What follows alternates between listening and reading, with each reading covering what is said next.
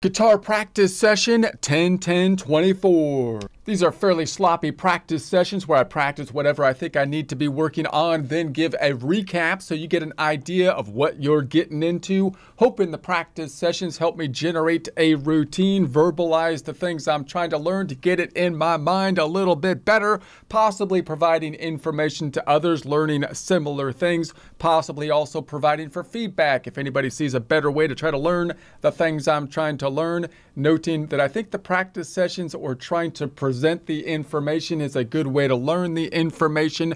So we will be providing these worksheets if you want to download the worksheets, do your own practice sessions. I think it's a useful tool to learn, even if no one uh, is listening. Don't uh, worry about plagiarism or anything. You can do whatever you want with uh, the worksheets. They're going to be orientated possibly a little bit different than what you might be used to elsewhere in that trying to make things as easy as possible for us to visualize the fretboard and try to maneuver around the fretboard, visualizing things in such a way that we can make them movable on the fretboard. And therefore, I want to think about it from the perspective of us behind the guitar as though we imprinted the guitar on the screen, which means that we have the low string or heavy string on top top to bottom, left to right, same orientation as though we were behind the guitar. I'll also flip my guitar around so it looks like I'm left-handed, so it will also be going in the same direction, and you can kind of just envision everything in the same place, hopefully lining them up on my guitar to the to the worksheet to what you're doing from behind your guitar. Okay, so where this time we're going to go into the Dorian mode. We're finally moving to a new shape. This is the shape that I would call uh, shape uh, number five. We'll go into different naming con conventions for the shape. We're going to be start working on it with what I would call the mode number two, the Dorian mode. We'll talk about the absolute mode numbers, why those are important. We'll look at the relative positions. We'll look at the relative modes and the numbering. We'll look at the uh, intervals. And then I go through the different uh, positions within this shape, breaking it out from a two string, two string, one string, what I call the seven note house analogy, and then the three string, two string, what I call the pentatonic hamburger uh, analogy. And then before we continue forward, we jump back to the three notes per string shape, this time looking at the Dorian position. And we try to look at these shapes. I'm thinking of them in three different ways to try to learn them by, by shape. So we can kind of copy and paste the shapes around as we go through the different modes and different scales. And then also learn them by interval so that I can think of myself on any note and then build the scale around it by interval, as well as what I call by formula, meaning the whole whole half steps, the whole steps and half steps, where I can build the scale by going each step along it with the whole step and half step formula. So then we look at the, this scale and map it out in those three ways and try to see what are the pros and cons of looking at the scale in this way versus the, the five ways that we break out the shape. And then we also build chords. I'm spending a little bit more time thinking about what chords we can construct. And to do that, we have to be able to convert the Dorian relative positions possibly to the related major positions or interpret the related modes to know if we're going to make a major chord or a minor chord when we're playing in Dorian, which I think is a major obstacle for many people. I know it is for me, you know, it has been for me to think about I'm playing in a different mode. How do I know what chords I'm going to be constructing now that I can't just say that the 1 4 5 of say the related major scale or possibly the minor scale is either a major or minor chord, right? If I'm in Dorian, how do I know that I can build a major or minor chord? So we'll start to kind of get that down based on our convention of having the C as our major, not the key of C, but the major key, whatever that major key is, as our Rosetta Stone in essence, our point of reference. Then we go back to the lean back shape, do a similar kind of thing. So now we're on the, the Dorian so we'll build out the Dorian scale with a two note per string structure instead of a three note per string or instead of our five note breakout, just to get an idea of different ways that we can construct the same uh, intervals or the same scales, and then we'll do our three methods of looking at it. We'll, we'll take a look at it by interval, by formula, and uh, by shape. And then we'll take a look at how to construct a different uh, chords from that shape. And then finally, we go back to the C. Again, I tell a little joke uh, by the time we go into here. I think this is where I tell the joke. So you could skip forward from that if you if you don't like the jokes. and then we'll finally then go from this D to this D. We'll analyze this position from formula, from intervals, from position, and then we'll take a look in more detail each of uh, the intervals in this position. And as we do so, we will try to convert each relative position in the Dorian to the related modes that are basically based on the relative positions for the major scale, locate them in our shape so that we can see this shape in both the seven note house analogy and five note pentatonic analogy and locate where each of the modes are in in the shape. And we'll spend a little bit more time thinking about chord constructions for each of the notes, not just for the lean forward chords, but also for, for multiple ways we can construct the chord. Because you'll note if I was on like this C, I could try to lean forward and construct a note down this way or down this way, or I could think about up here, right? Could I build a chord going up this way?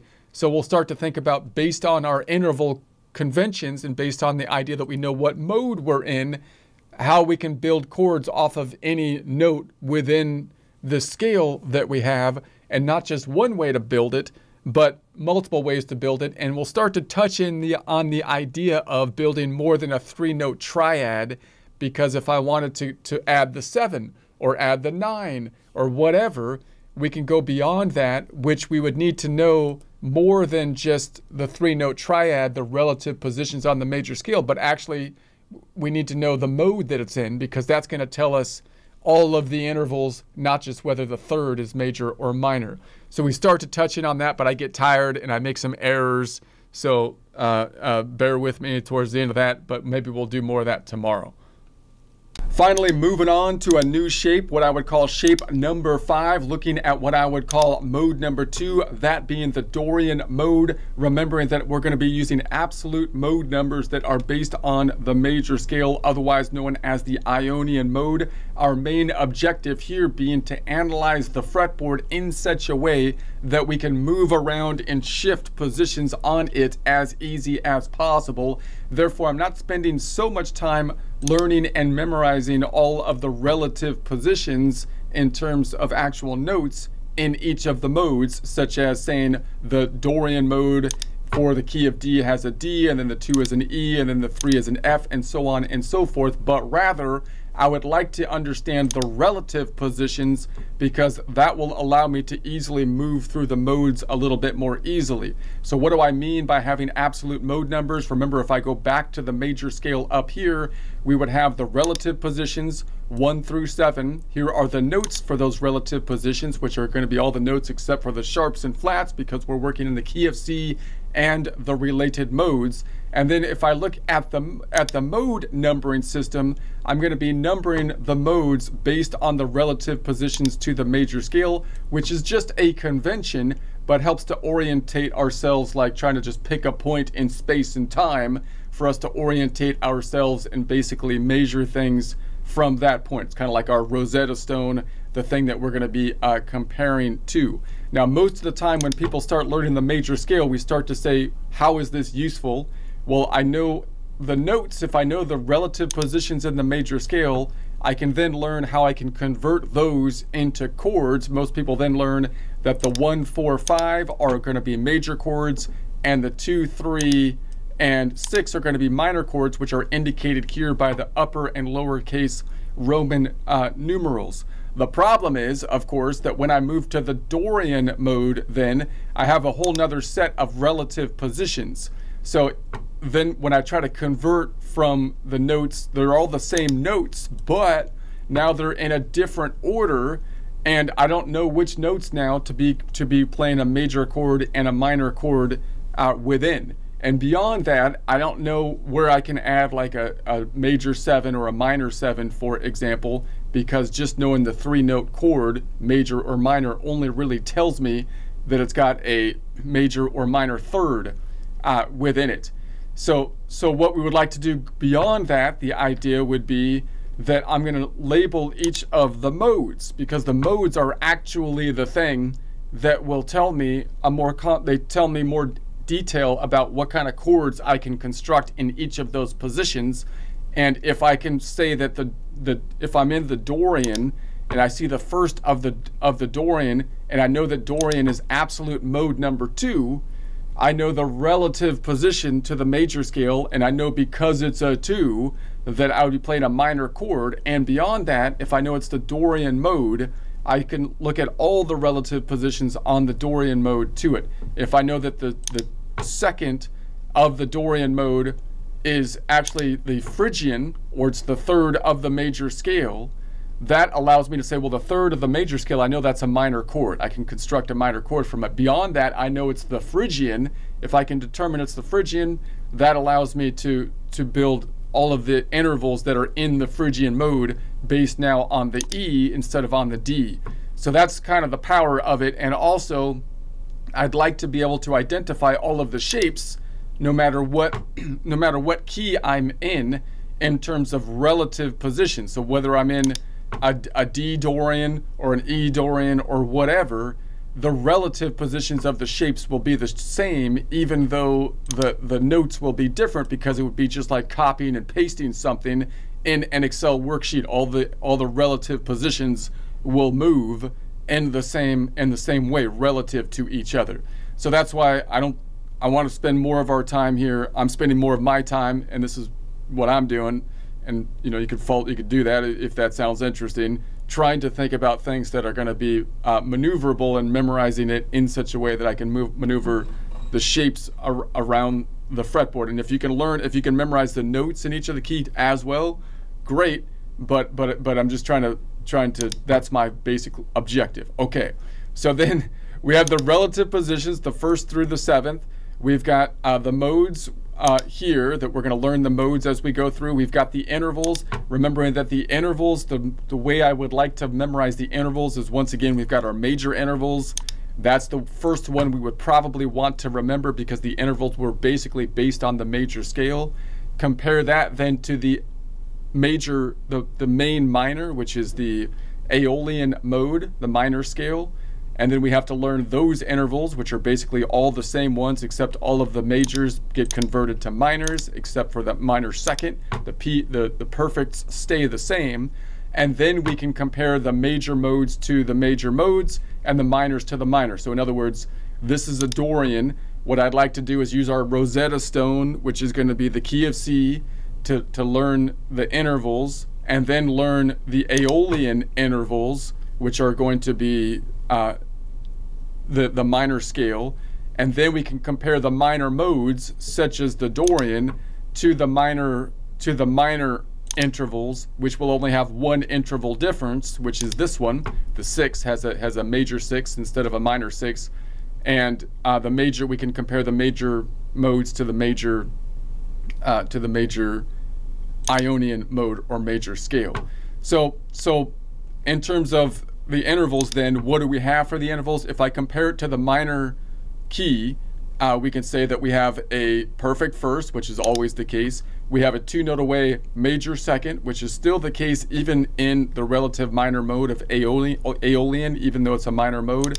We have a three note away minor third. It's the third, by the way, because it's the third relative position. It's three notes away because it's it's a distance of three notes from the root, which in this case happens to be a D, and that by definition is a minor third. A minor third is three notes away. This one is a perfect fourth. A fourth, because it's the position here, perfect fourth means it's five notes away from the root, in this case the D. We have a seven note away perfect fifth. The, the five is because it's the fifth position. Seven notes away means it's seven notes away from the root, from the, from the D over here.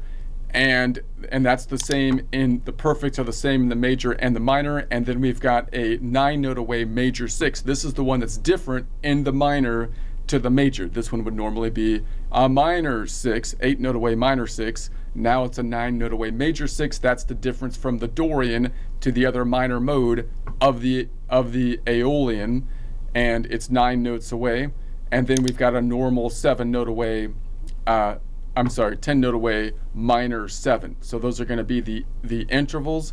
Once we go through these shapes, I'd like to learn these three different ways. I'm kind of trying to solidify in my mind more. One is going to be we we learn it just by shape so i can define this shape as what i call shape number five uh, i'll give it other names shortly but then we can also define it by interval meaning i go from the start of my my uh, shape from whatever i'm working on in this case the dorian and then i count up my intervals and i'll end up with the shape so i can build the shape by interval and then I can also do it by by formula, what I might call formula whole steps and half steps, meaning like the majors, you know, whole, whole, whole, half, whole, whole, whole, half, as we move through. So I'm going to try to look at it basically those three ways, uh, as we. That's what I'm trying to get in my mind, and then as we do this, we're going to call this what I call position number uh, five.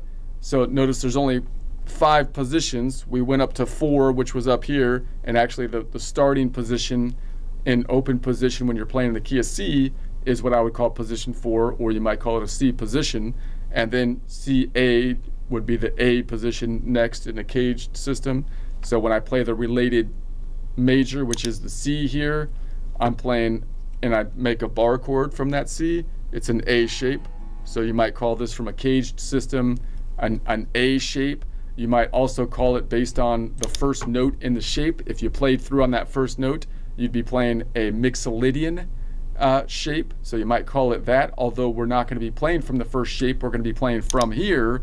That's why we're going to be playing the key of Dorian, even though we're inside what you might call like a Mixolydian shape if you were to play around the first note of the shape.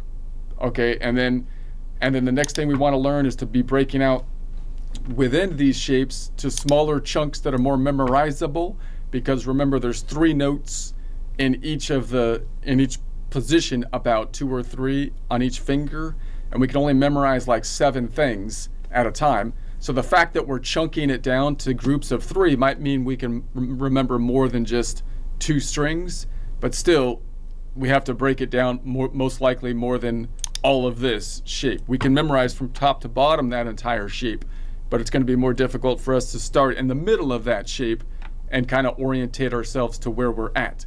So the guitar I'm saying is a five string instrument plus an extra E. So, so if I think about five strings, I can break it out. The two common ways to break it out is a two string, two string, one string breakout, which is what I call the house analogy, where we have the double, the, the house double stop. This is what I'm calling the house double stop. And then we've got the double stop house, which would be the double stop house here, but it got shifted up because of the fault line that we'll have to compensate for. And then we've got the two note uh, per string uh, hamburger shape, which is going to be here. So I had my I had my pentatonic thing in the wrong spot. And then and then if I see it if and so so that's one way that we can break it out. So as I break it out that way, what I want to be learning is what are the relative positions in the shape, possibly starting with this little box here, because that's easy to find, not according to the note, and not even according to maybe the positions, the first, second to the third, but related to the modes, because the modes will be the same. All the related modes will be the same. So I can say, well, the Dorian, where does the Dorian doesn't live in the house? The Dorian's over here. The house has the major over here. Uh, the house has the, the, the Locrian behind it, the Phrygian under that, uh, and the Lydian over here. So we'll get into that in more detail. But if I wanted to go from a four note, uh, a seven note scale to a five note pentatonic, I would remove the Locrian and the Lydian, these corners. The other way people often break out the, this, the strings is to a three string, two string breakout which means that's going to be the pentatonic breakout, which I call the hamburger and barbell shape, which you could see here's the barbell where we're at the end of the barbell, where we have the two heavy hitters on the minor, two heavy hitters on the on the major, and then you've got in the middle, those are the notes that would have to be added going from a five note pentatonic to a uh, to, to the seven note scale. And then we have the hamburger, which might be more easy to see because it's broken up here between the two halves. So if I put it out here, it might be easier to see like maybe right here. So we'll go boom from here to here. And so that's going to be what I would call the hamburger shape. And we would have to add the two extra notes, which I imagine putting a hat on the hamburger. There's the Lydian. And then over here is, uh, is the Locrian modes. All right. So we'll go into, we'll go in here and then next time and we'll soon, we're going to go in here and go through from this D to this D and think about each of the intervals and we'll think about where each of the modes live and how I can convert from the relative position 1 in Dorian and all of the relative positions to the relative modes which you'll remember are basically based on the relative positions of the major scale. I want to make that conversion as quickly as I can. Why? Because again, that that orientates me within my position more clearly, and because I know the Rosetta Stone of the C, I can then know what kind of chords I can play based on the relative positions to the C scale. So that's that's the way I'm thinking it currently. But before we do that, uh, let's go into let's go into our three notes. So so we're going to be in this box right now. But let's just remember that we don't have to just be in this box. Let's just think about some other ways that we can make the scale just to see that this is a convention. It's still just a a fretboard. There's many different ways that we can uh, basically see it. So let's go to the three note one. So this is going to be my three note per string. And now I'm. So before we were looking on the C up here, and now I'm going to be looking on uh, the Dorian. So the interesting thing with this three note per string shape is one of the advantages is that is that every every note on the top string, which is like a piano. It's laid out like a piano, so it's kind of easy to find on the top string. Will then give will then have its own scale from that note. Whereas when we have the five note pentatonic, we only have five shapes, but we have seven modes. Therefore, we're going to have uh, some modes that have some shapes are going to have multiple modes as their main shape to play them in. Here, we're always this shape is always going to be starting on whatever note we are in the mode and it's always going to be leaning forward. I'm always thinking of it as leaning forward because just the way the shape is, it's going to force us to move this way diagonally. Now the fact that it moves diagonally up the up the guitar is kind of kind of a problem, kind of a mess because it gets a little bit harder to orientate. So there's pros and cons of it, but the fact that you always start on one shape and you're always leaning forward is makes it easy for us to locate the starting point, which is nice. Notice that when we go to the lean back shape, this is what I would call the two note per string scale shape. It's the opposite. It still has the nice, it's leaning backwards, but it still has that nice convention of us basically starting on whatever note we are in in the scale on the top string or wherever we're starting it, that will always be the related mode. So if I'm on this D, if I'm on the second note of related to the major scale, mode number two, that's that's where the shape will start. But this time it'll always lean backwards due, the, due to the fact that we're doing a two note per string shape. So let's just get an idea of that and this will help us to solidify the rules that are basically being used in all of our different conventions. We have the convention to try to keep our fingers, our main goal and the five shapes is to keep our fingers within four to five frets. Our main our main goal in the three note per string shape is to try to play an even amount of notes on each of the strings to make it possibly more symmetrical. And it possibly also can help us locate where we are a little bit more easily. And the main goal for the two note per string is much the same. We want to keep it kind of symmetrical so we have the two notes per string and we can easily visualize those two notes because that happens to end up in every other note being being on the next string down, which actually creates a nice arpeggio of the of the of the chords, which is just naturally done due to the way the shape is structured, which I think is actually quite useful. So in any case, so then if we start on this D, uh, let's think about this, this D and compare it. Uh, so there's three ways we can think about this. We want to think about it in terms of, once again, the, the, the shape, the interval, and then, and then what I call the formula, meaning whole, whole steps and half steps. So if I look at the shape of this, what we what we start off with is at we ended off last time by the way. Here's the C where we've got the this is what the middle it starts in the middle of what I call the three pillar shape and then it goes to let's just analyze this one one more time. You've got you've got the middle of the three pillar shape and then it goes into what I call the house double stop. So there's our good old house. It's still there, even though we're doing three notes per string. And then it goes into the double stop house. Notice what we're starting on is that same thing because I'm saying there's two E strings. So I'm going to bring that up to the top. And if I was continuing in the key of C, we're now on the top of what I would call the three pillars. And then now we're back to the starting point. So this is the starting point that we've shifted through from this point. So if I think of it like we're still playing all the way through the key of C, multiple octaves, right? I go one octave up here, two octaves up here, and then it went around the top. And then, and then I play out to the next, uh, to, to, to the next octave is way up here because I'm repeating this one and then I went from a high down to a low. So so octaves aren't exactly working in that case, but the pattern works, right? So then it goes down, and then we go down to here. Uh, but remember, the idea here is that there's actually this pattern right here has seven, has has three strings in it. It actually starts at the G. It's three pillars. So we have three, four, five, six, seven strings in essence that we're rolling through. There's only five strings plus a repeated E on the fretboard, so we don't see the pattern actually repeat until we get down here, all the way through a whole pattern.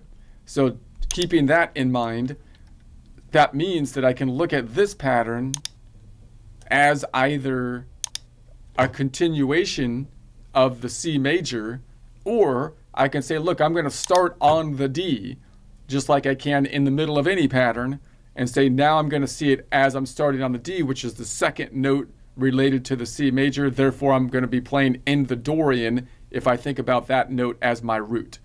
Okay, so if I think about that note as my root, then I have the bottom of what I call the, the double stop house shape, and then it leads into the three pillars. So here's our three pillar shape and then it goes to the box double stop shape. And then if this moved up, it would move up to the top, boom, boom. It would starts right here. So now, so now we're at once again the bottom of the box double stop, and then it goes to the double stop uh, box, and there we are repeating. It doesn't repeat till we get down to here, right? So it would play all the way through again. But if I'm playing from top to bottom from this D, we have then this what I call the, the bottom of the bo of the double stop box, the three pillars, then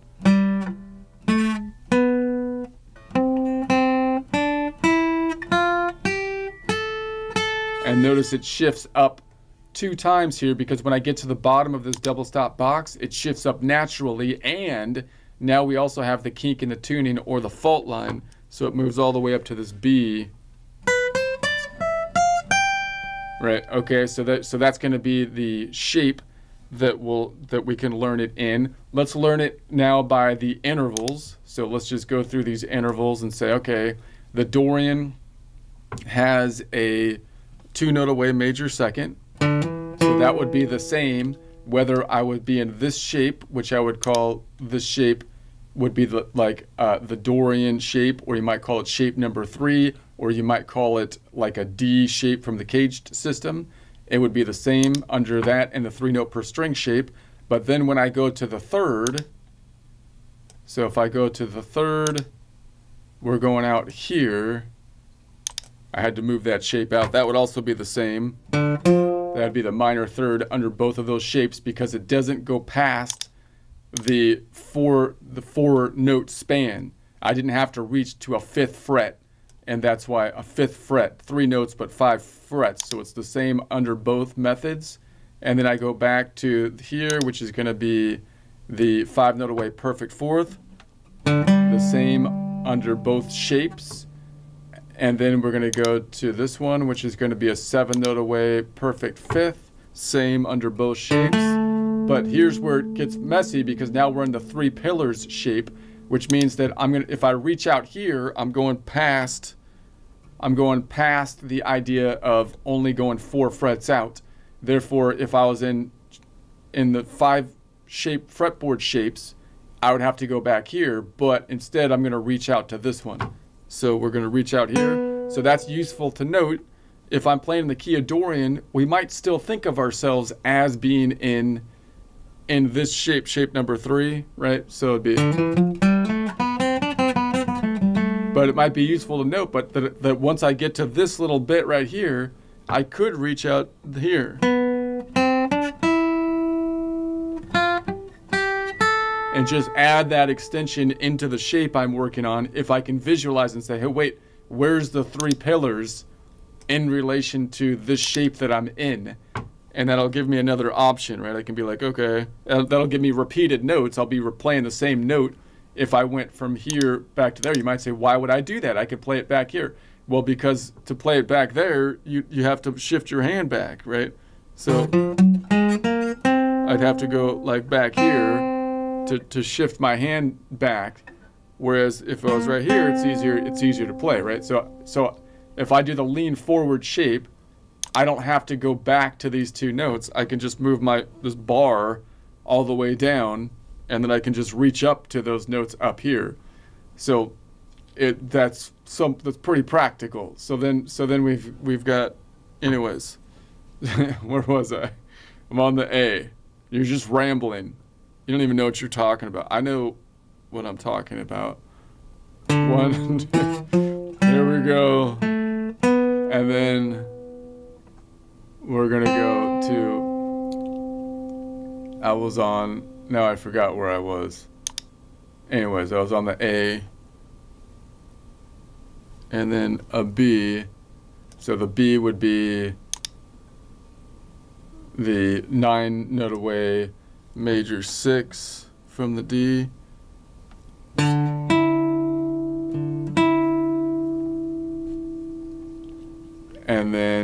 back to, and then to the C, which would be a 10 note away major 7, and then to the octave. Okay, so that's interesting. All right, and then if I did the whole steps and half steps, it would be one is a whole step uh, to the second, and then the second is a half step to the third. Now notice if I thought about the the like five note pentatonic, well, one is a, what is a half step eh, to the third. The five note pentatonic, the notes that are removed are the Lydian and the Locrian. So, so notice that right here, this F is the Lydian. That's the one that would be removed. I also know it would be removed because if I see the full box, it's at the bottom of the box. So that's also where the whole steps and half steps are on the one that goes into the Lydian. So there's our half step. And the, so when I'm in Dorian, I'm at one, two, three. Between two and three is a half step. And then we go from three to four is a whole step. From four to five is a whole step. And then from five to six, now I'm doing a whole step, but I'm moving out here. And then from six to seven is a half step. Now that's a little bit wonky for a lot of, for me at least right now, because I don't usually, I'm not always thinking in terms of these wider shapes. So when I go from here to here, it looks like a pinky to pointer shape to me, which I tend to think is like a whole step, but it's actually a half step because I'm going five frets out instead of four. Usually the pinky to pointer is four frets out, right? And then it would be a whole step, but now I'm going five frets out pinky to pointer with a longer reach, that's going to be a half step. I can also see it's a half step because the C would be right there. And now I'm bringing uh, the C back here. So we've got a half step uh, going to the C. And so that would be the 7, and then a whole step going from 7 to 8. Okay, So within this shape, the thing to keep in mind for me that's a little wonky is that when I'm in the other shape, when I'm in when I'm in the five shapes, it's the half steps are always in the box. I can always see the box and that's where the half step is. But in these three note shapes, notice the box is being split up sometimes. So I have to recognize that the half step is going to be related to the box, but I'm going from here to here, pinky to pointer, from a long five stretch span back back, and that's going to be where my half step is on those longer shapes. Okay, so we we've done it that way, and then by shape. So the other thing I just want to look at is that I can build chords on each of these shapes now. And so let's just think about now this shape is a, is a great one because it has in the top two strings, it's going to have all of the all of the notes except one in the shape. I've got I've got six notes one two three four five six, and I'm just missing uh, this one here, which is the seven, which could be more important in a Dorian than it would be in the major. How can I convert these then to to chords? Well, I can say, well, the D, it's a Dorian. I know the Dorian's a minor mode, so, so, and I also know it's the second of the major scale. So if I know the Dorian is the second of the major scale, I know it's it's the it's the minor mode. So I can say, okay, I can build a lean for what I would call a lean forward chord, uh, which would be this bar chord, which would be like an E-shaped bar chord. So I have that, and then and then if I go to the next note of the Dorian, we've got then the second of the Dorian is how, how do I know what chord I would play off of that one? Well, I could say, I could use my little math here. I could say, well, the second of the Dorian is one note away from the first of the related major, which is, and so I can say 2 minus 1 is 1, plus 2 for this relative position uh, gives me a relative position 3. So that 3 means it's relative position 3 on the major, which means, and the two, three, six are the ones that we would make a minor chord from. So I can say, well, that's going to be a minor chord. Beyond that, it's the Phrygian. So I know I can I can also think about it in terms of adding the distinct Phrygian note, which is a minor second. But that would be leaning forward like that, and I'm, I'm running out of space on the acoustic here, but but that would be that one. And then if I go to the next one, I could say, okay, then then the third of the Dorian is actually the mode number two minus one is one plus three, otherwise known as the fourth of the related major. The one, four, five would build major chords from. Therefore, I know I would build a major chord from it. Beyond that, it's the Lydian, and the Lydian has a distinctive augmented fourth if I wanted to get more detailed. But I could just say, okay, that's going to be a major chord, which is really hard to reach something like that. And then and then I can say, okay, let's go to the fourth of the Dorian, which is going to be here. And the fourth of the Dorian, what's the relative position uh, to the major scale? It's going to be 2 minus 1 is 1 plus 4 or 5. And I know that the 1, 4, 5 of the major scale, I would make a major chord from. And so, and I also know it's Mixolydian, which is going to have that distinctive minor 7. So that would be an A shape a major chord from there on the bar chord. And then if I go to the next one, I can say, okay, what's going to be the uh, the fifth of the Dorian is going to be here. And what, what chord would I make? Well, Dorian is 2, minus 1 is 1, plus 5 would give me the sixth mode. And I know the sixth of the related major would be a minor chord because the 2, 3, 6 would build minor chords. Beyond that, I know it's the main minor or Aeolian. So I can build like a, it would be an A-shaped bar chord. And then I can say, okay, then let's go to the sixth of the Dorian. The sixth of the Dorian is going to be this B. What would I build on it? I can't really reach it, but it would be 2 minus 1 is 1, plus 6 would be 7. That would be the Locrian which has the so so so if it was the seventh of the relative major, I know that that would be the funny diminished one, which is the Locrian, and that has that. So I can just add that distinctive uh, uh, flat fifth. And then if I go to the seven, the seven is going to be on the C down here. And I can say, all right, well, what's the, the seven of the Dorian is related to the Ionian because it's 2 minus 1 is 1 plus 7 is 8 minus only 7 modes means it's the 1 of the relative major, which means, of course, the 1, 4, 5 would be major chord constructions. So you and and I know it's also the major scale, so that would be like a D shape. You can see it here, or you can make this little D up here, or you could try to finger the whole thing, but that's difficult for me to do. Let's do a lean back shape. What if I what if I did it this way and said I could lean it back this way and just look at look at these three. So if I can say, okay, well it's a D uh, and, and it's a Dorian, that means it's a minor mode. So that means if I lean it back, I'm going to have the third, which isn't here because it's a minor third, will be back here, and then the fifth will be here.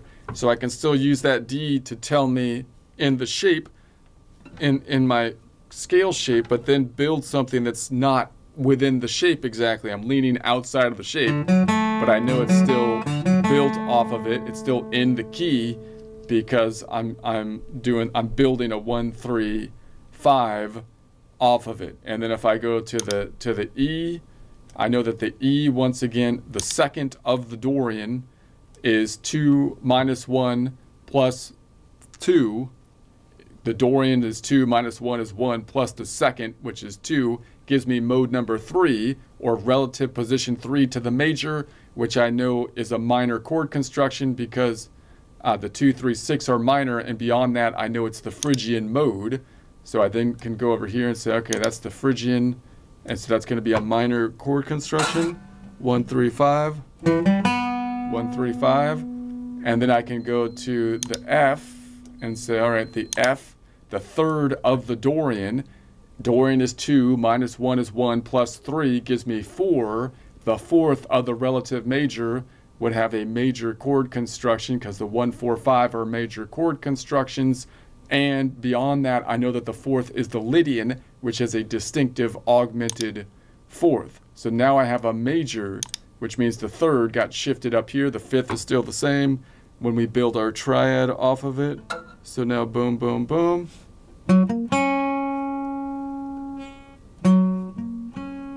Oh, wait a second, it's the wrong right here. Is that where I'm at? I think that's right. All right, and then and so then we can go to the we can go to the fourth of the Dorian, which is going to be this G, and so it'll say G, and the fourth of the Dorian is Dorian is two minus one is one plus four is five. I know the fifth of the relative major would build a major chord on it because the 145 would build major chords. Beyond that, I know it's the Mixolydian, which has a distinctive 10 note away minor 7. Right, so I can say, okay, this is going to be a major. This is like a C shape from a CAGED system. And then I can go to the fifth of the Dorian. And I know that the fifth of the Dorian is 2, minus 1 is 1, plus 5, 5, 6, 7. So this is going to be wait a sec. Dorian is Dorian is two minus one is one plus five is six. And I know the sixth of the relative major would have a minor chord construction because the two two, three, six are minor, and the sixth is actually the Aeolian mode. So I can build minor chord construction which has a minor third on the lean back, a C minor shape you might call it from a CAGED system perspective. And then we've got then this one which is going to be the sixth of the Dorian. So the sixth of the Dorian, Dorian is mode number two, minus one is one, plus six gives me seven, would be seventh of the relative major, which means it would be that funny one that has the that has the diminished, which is the Locrian mode. And that that is the same shape. It's hard to reach here. It's not too bad to reach if it wasn't for this for the no cutout here, but right, it has the the the, the minor third but then it has the fifth that's shifted back uh, because it's a flat fifth. And then we've got then the seventh. So the seventh, finally, of mode number two, Dorian is 2 minus 1 is 1, plus 7 is 8, only 7 modes, so minus 7 uh, is 1, gives me the gives me the major scale. And now we've got the 1, we've got the 3, but the 5, instead of it being back here, has been shifted up. It's up, it's up here uh, because of the kink in the tuning or the fault line. All right, let's do the same thing on the two note per string just to get an idea of that. Oh, by the way, I was also kind of thinking like if you were on if you're on the top two strings, you can always do the power chords, right? Except on except on the on the Locrian, because then you'd have, which most people stay away from anyways, but then you'd have the the the the, the flat fifth. Uh, so that's nice. And but if you get down to these strings down here, notice the shapes that I can make. I can go I can go what I call a lean back shape and a lean forward shape, bar shapes versus G shapes if it was at the top string or C shapes down here from a CAGED system.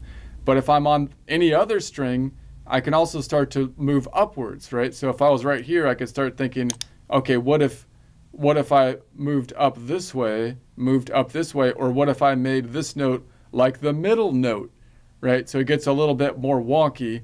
So over here, for example, like on this G, you, you might start saying, well, what if I make that like the middle note?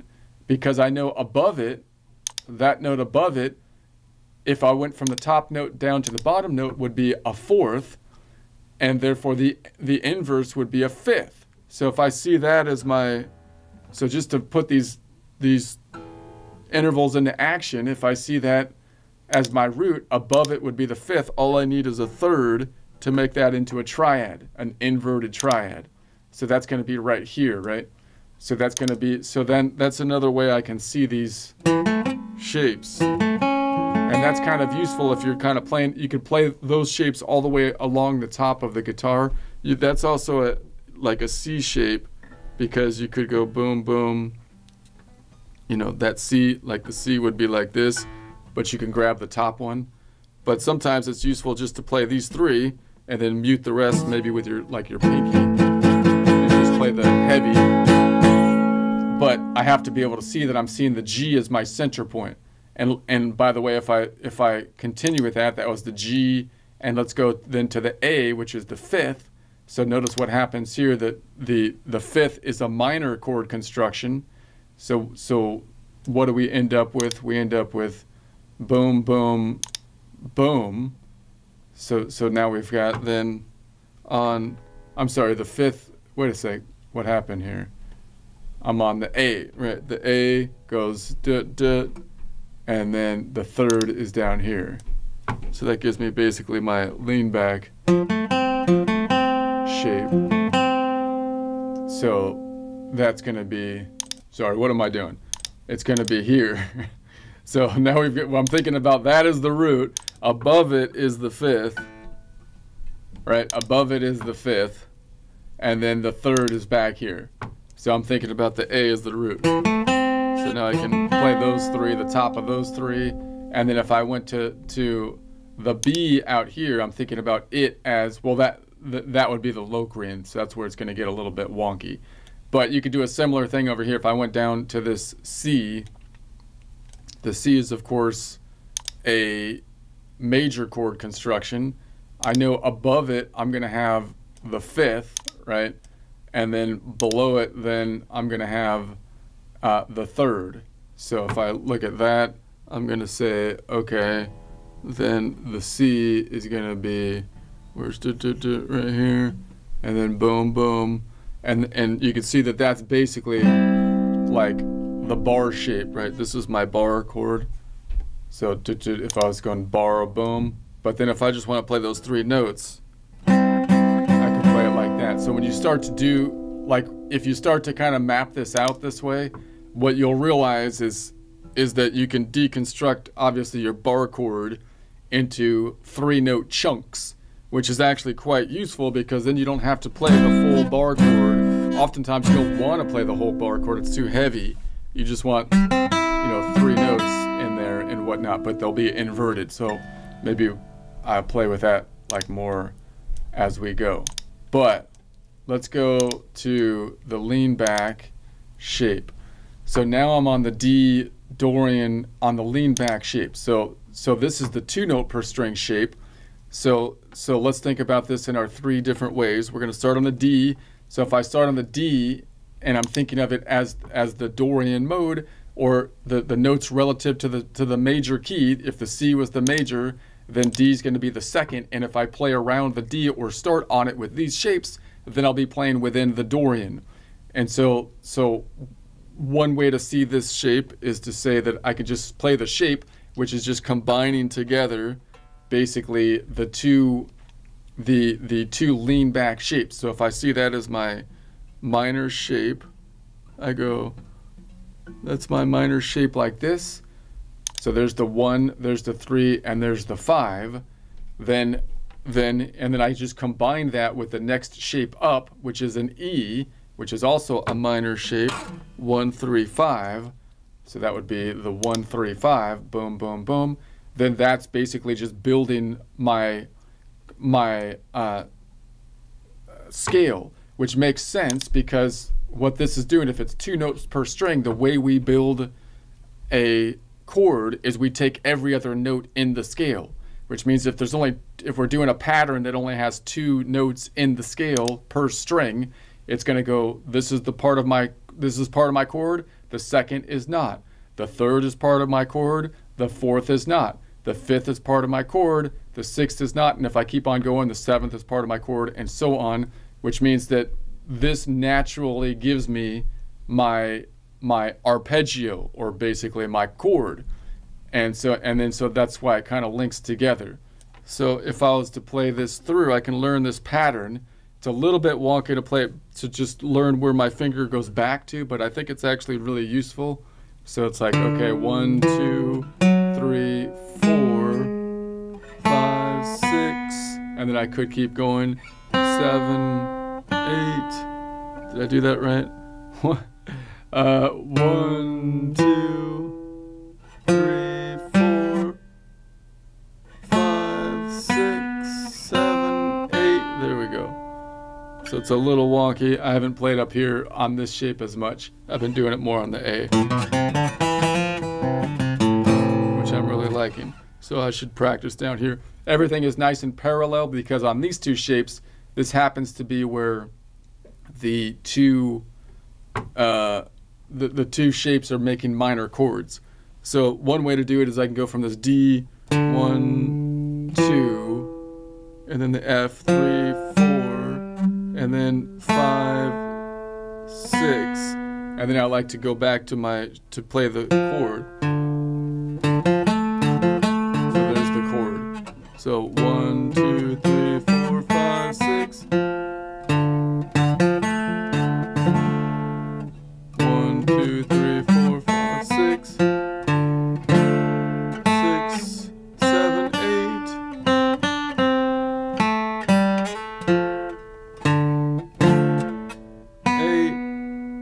six. So it goes one, two, three, four, five, six, six, five, four, three, two, one.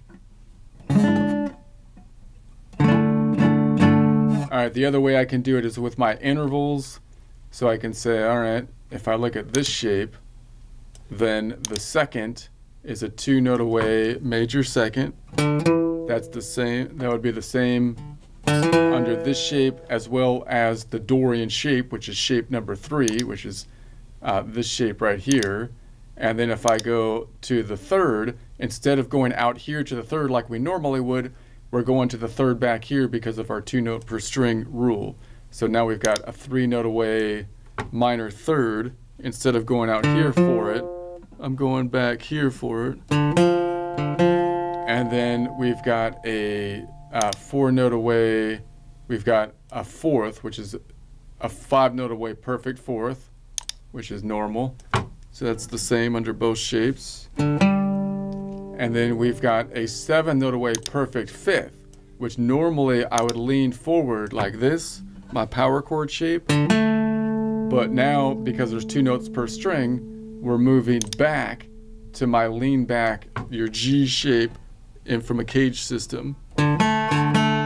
And then we've got the uh, the nine note away major six, the distinctive note in the Dorian, because it's a major instead of a minor. And then we've got then the uh, 10 note away minor 7, which normally I would play like right here, which would be right underneath.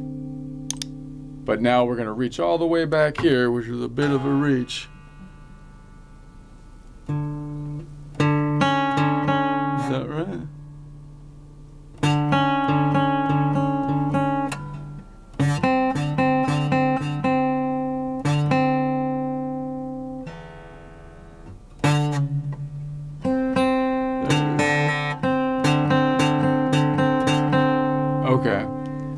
And then if I did it in wholes and half steps, we've got the the first of the Dorian is a whole step to the second of the Dorian, and then the second of the Dorian to the third is a half step. Notice I'm going from like pinky to pointer, but I'm going five frets back, which is a half step. So normally it would be normally when I go pinky to pointer, it's a whole step to here, but I'm going back here, so that's a half step. So one to two, and then two to three is a half step, three to four is a whole step, and then four to five is a half step, from five to six is a whole step, from six to seven, which normally I would go here, but instead I'm going back here, is a half step. So when I'm looking for the half steps in this one, I'm really looking to see this note. That's where it would go, and I could see the half step right there, but then I go back here, and then I can see it as a five note away half step. Okay, so let's go back to our main thing over here and count these ones up. But before we do, I'll do a quick joke here. Let's see. My practice session joke. All right. Let's get some coffee.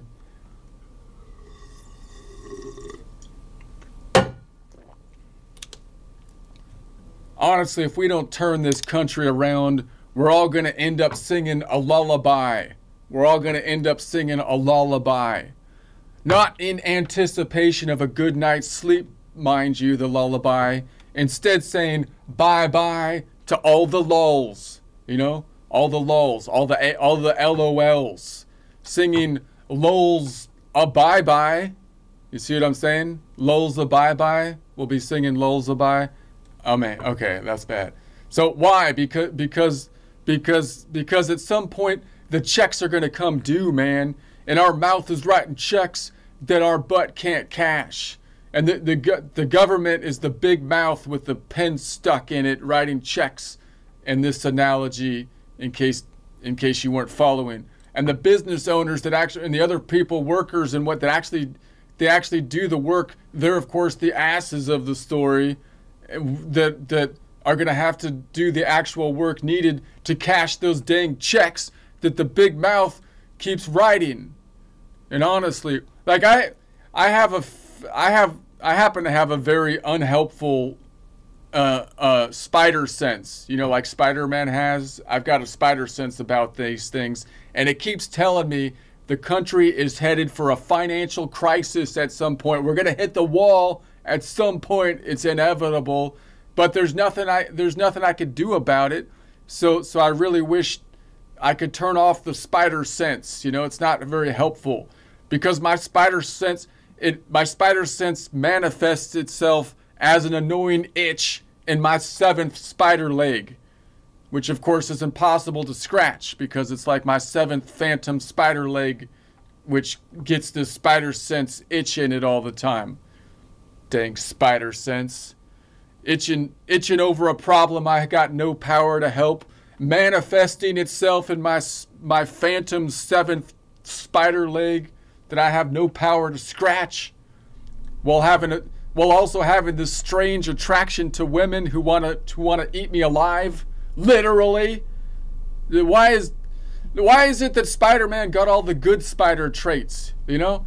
And I'm over here dripping sticky spider snot out my nose. It's like, come on, man, this, this sticky spider web stuff is supposed to shoot out of my wrist on command in such a way that I could I could swing on it and stuff. But my spider snot's just sticky enough. It's just sticky enough not to easily be rubbed out of my pants when it drips on them, which is not. It, I don't. That's not helpful. All right, position five. So we're going to say first off, how do I know where the D is or where the Dorian of this position is? So if I see this position, I call it position number five. I'm going to say uh, you could also call it then the uh, Mixolydian position because if I played from the top, I'd be playing in Mixolydian.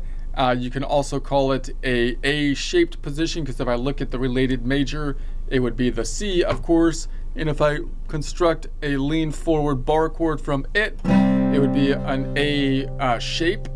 So that is that. And so then I can say, well, if the top of the top of it is Mixolydian, Mixolydian is the fifth of the relative major scale. So if I just count up till I get to eight, which is the first, uh, then I'll get to the, well, that would get me to the, to the major. So I could say if that's the five, six, seven, eight, and then I can say, well, now I'm on the C and I want to get to the Dorian, which is the, the second. So if this is the first, then this is the second. So there's going to be our Dorian. So I can also just, I'd like to kind of look at all these shapes and just kind of be able to know where the position is. The other way I can do it is I can say, well, I know this shape has a box right here. There's the box part of the shape, my house and so the so I know that where does the where does the Dorian live? It's not in the house bit of the shape because it's a minor mode, but instead it's going to be on the double stop part of the shape, which in this case is outside of this box. So it's the box double stop. It's at the top of uh, the double stop.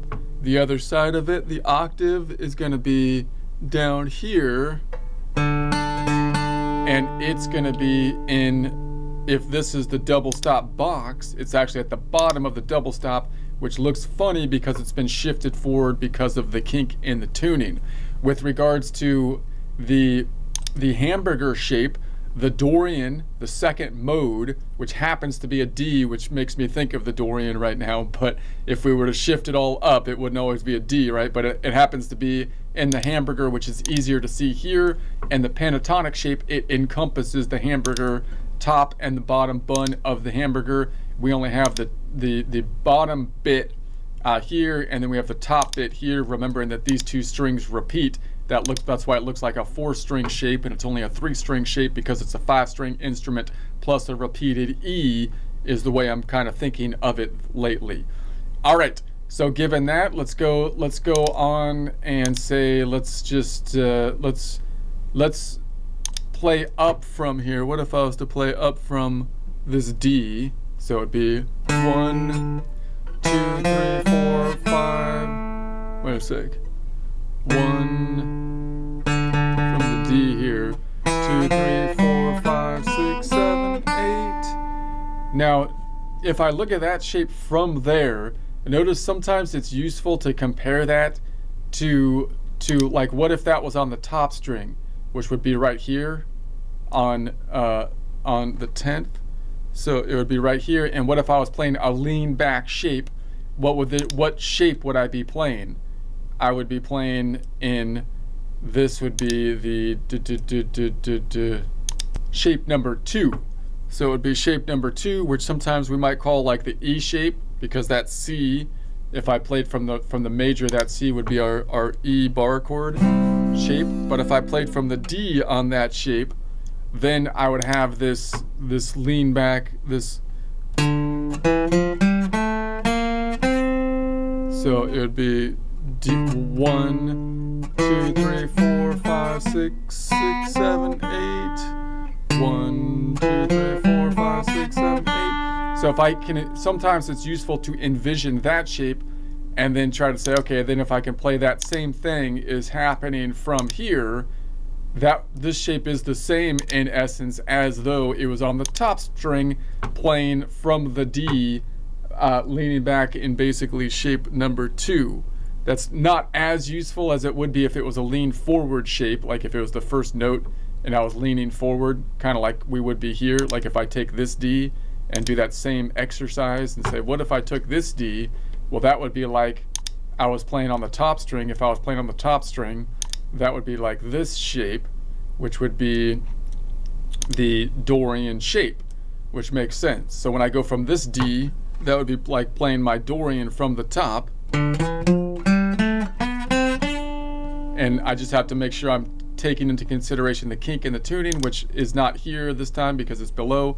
In this case, the shape would repeat up top and then I would continue from there. So sometimes that's a useful way to visualize it. And so then if I'm gonna go from this D, so I'm going from this D, leaning back to position number five, and what do we have in terms of whole steps and half steps? Uh, we've got from the one to the two is a whole step, pinky to pointer, only four notes away instead of five. That's gonna be a whole step.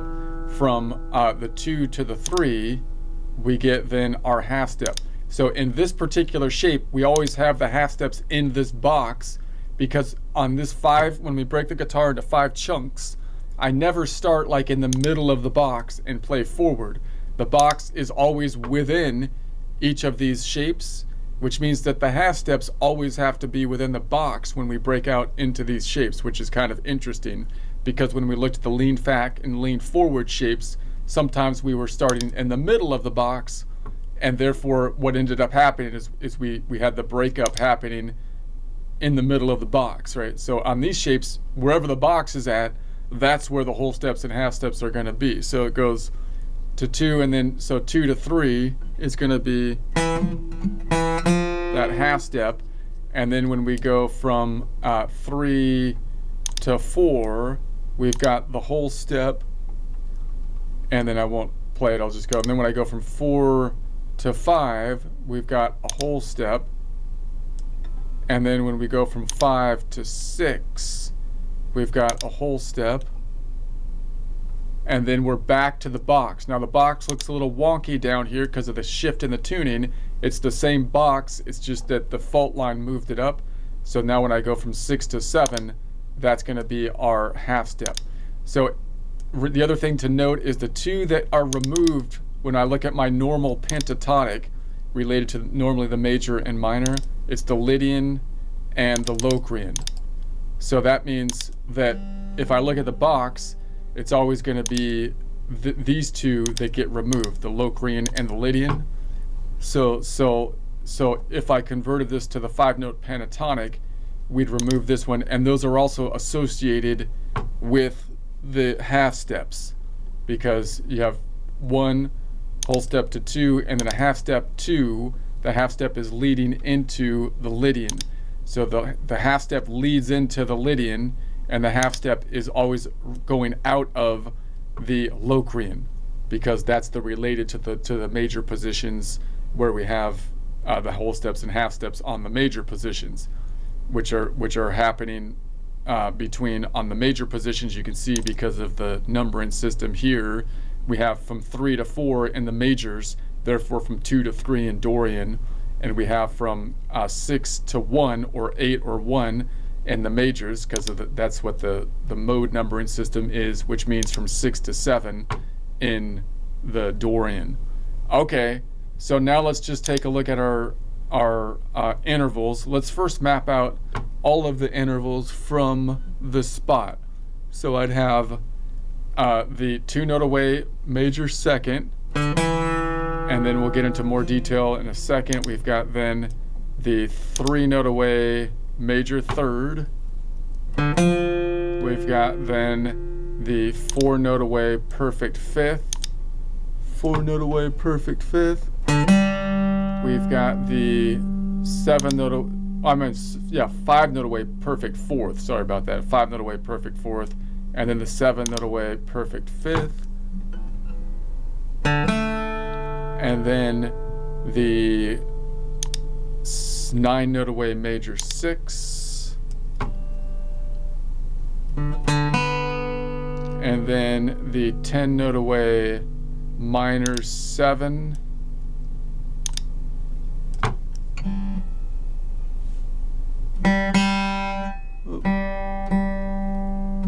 Second. And then back to the octave. 12 note away octave. Okay, so that basically builds the shape. Let's go through it in more detail and say, okay, let's look at the second. The second of the Dorian is going to be, I know it's a two note away uh, major second. How do I know that? Because I can say, well, that's going to be down, one string down would be five, four, three, two, two note away major second. So from here, that's going to be pinky to pointer. So that makes sense. The inverse would be 12 minus 2, which would be a 10 note away minor 7 from bottom to top. I also know that the second of the Dorian is, the Dorian is 2, which is one step away from the relative major position. So it's 2 minus 1 plus 2 gives me 3. So it's the relative third position relative to the major scale, which means when I look at the shape, I know I can make a minor chord from it because relative to the major, the 2, 3, 6 make a minor chord. Beyond that, I know it's the Phrygian, which means it has a distinctive, uh, it has a distinctive second uh, related to it. So, so if I see that E and I built a chord around it, notice I'm kind of like in the middle, so there's multiple ways I can build a chord. I can lean forward and I can say, okay, let me pick up my fifth, copy and paste, and I could say, well, there's I'm always going to have like a fifth that I need. So one way to find the fifth uh, is right there. And then I need a third. So, so, and I'm on a minor third. So there is a minor third maybe back here, but that's there. But that's going to give me, right, right, they're on the same string. So I could pick up the third then down here. That's one way I can play it that might be like a minor D shape that you might think about it as.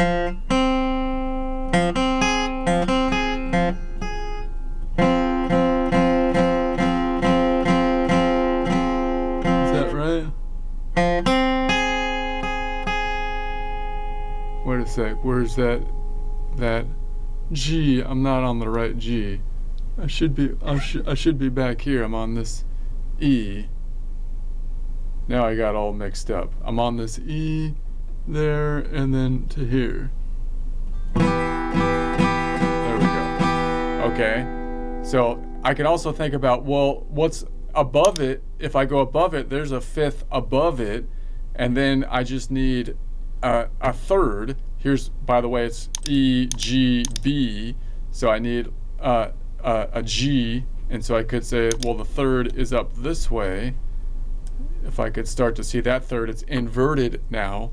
So I can say, all right, well, if this is my, my E down here, I can go the fourth, the fifth is above it, and then this is an inverted. I can still think of it as an E like minor,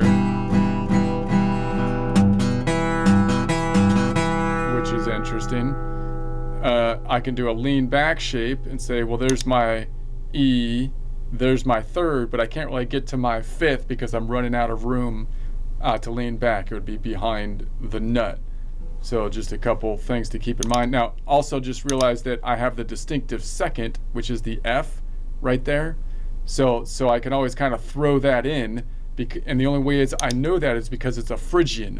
So the Phrygian has that distinctive second that's still in the related key of the Dorian. All right, let's go to the next one. And we're going to go to the the third which is the so if I was here the third which I was fingering on accident is going to be a three note away. A three note away minor third. How do I know it's three notes away? Because I could say there's five four three three note away minor third Inverse is 12 uh, minus 3, which was the 9 note away major 6. So from top to bottom, 3 note away minor third from bottom to top, uh, 9 note away major 6. Okay. I also know that the third of the Dorian would be 2 minus 1 which is 1 plus 3, which is the fourth. That would be the Lydian. So I'm on the Lydian. I also know that the fourth of the relative major would be something that I would build a major chord on because it's the 1, 4, 5 to build the major chord. Beyond that, it's the Lydian, which has a distinctive augmented fourth, which I could put into play if I was going to play off of this uh, one here. And I know that the Lydian lives in the box part of the shape when I look at the seven note uh, shape and it's at the bottom of the box under the sea looking towards the ocean because it's one of the majors here. It's also the one that would be removed if I go from the seven note shape to the five note pentatonic because the, the Locrian up top left and the bottom right Lydian are the ones that would be removed in terms of the barbell hamburger pentatonic shape. I'm currently in the barbell where we have the ends of the barbell that we would play for the five note pentatonic and the middle ones would be removed. That one, which is the Lydian, and this one, which would be uh, the Locrian. So, so I know that I would build a major chord off of that, which once, which would look like this. That would be a D shape if I moved it forward, right? Because I've got the one leaning forward to the five, and then I need a third, which is going to be a major third, which is going to be down here. If I lean it backwards, I've got the one, I've got the three, and then I've got the five. So I can say lean it back, boom, boom, boom. That's basically our little F shape, which is part of this shape, which is part of the full E shaped F chord. I can go above it. I can say, okay, let's go above that shape. There's the, there's the fifth. And so I just need like a third now, which is going to be, I believe, this A. So if I'm saying I'm on this F, I can go above it and then reach out to that A. Which you might be able to just bar this off. I, I tend to like to give me, get it so I can get my fingers on it because that allows me to, to like give it some action a little bit more, to mute it a little bit or, you know. But anyways, you've got that. So now let's go to the fourth. So if I go to the fourth, that's going to be of the Dorian. Uh, so that's going to be right underneath. How do I know? Because it's five notes between two strings, five note away, perfect fourth. Inverse 12 minus 5, which is 7. So top to bottom, five note away, perfect fourth, bottom to top, seven note away, perfect fifth. The fourth of the Dorian is 2 minus 1 is 1 plus 4. It means it's the fifth of the relative major, which means I'd make a major scale from it because the 1, 4, 5 would make a major scale. Beyond that, it's the fifth mode, which is Mixolydian, which has a distinctive uh, minor 7, 10 note away minor 7. So where does it live? In the house analogy, it's not in the house, even though it's a major, because it's the major that's similar to the minors. It's outside, it's in the flat hanging with the D. Uh, and in the hamburger barbell analogy, we're currently in the barbell. It's on the right side of the barbell where the heavy hitters are on the majors, which is the major and the mixolydian. If if I was to make a chord from it, again, I know I can make a major. So the so one, the way we would would normally think about making it is leaning forward to like there's the fifth, right? And then I'd say, okay, what do I need? Then I need a third, so that looks like my, that's like the D shape from a CAGED system. And I can kind of mute the one in between, the string in between. I'm just muting this with my bar. Or you can play, there's the D right there, that D shape. And then if I leaned it back, then you'd have the third right here, and you've got then this one. So if I leaned it back, you'd go boom, boom, boom which once again you might see as this shape, which is basically a part of the E bar shape. And then, and then you could go above it. So I could say, all right, well, the fifth is above it right there. And then I'm looking for the, the third, which you could find here. You can also find it right here, which again is part of this shape. But I could go, I could go up here and say, okay, there's going to be boom, boom, boom, inverted. So we have that. And so that's interesting. And then, okay, what else was I? Oh, by the way, it has a distinctive seventh. Where is that seventh? It's right there. There's our 10 note away minor seven. So if I add like the third to that one, and then I replace the fifth with that minor seven, you get that diminishing sound. Notice that if I go if I go up to another like another major chord construction, like that's in the same place like that C, I don't I have still the third right there. And sorry, I got messed up because of the kink in the tuning. That is in the that's in the key, but where I'm actually looking for this one, that would be the 10 note away. How is it? How do I know it's 10 notes away? Because it's five and then 10 up here because of the kink in the tuning. Whereas if I go to the C up here, then I don't have that. I don't have this one. It's not in the relative position. If I went up to here, now I could still play it and it might sound good. And I think this is something I'm trying to get in my mind, like when could I do that? In the blues situation, you're playing all, you're always adding that like flat seven. So, and I think it sounds good in part because it's parallel. So if I played this, like if I was playing, if I wasn't playing that seven, and then I added the seven over here, then it might sound out of whack. But when I play the seven like this on this side, where am I? I'm over here. Now I got messed up. Where am I? I'm on the G. There it is. And then I do it up here.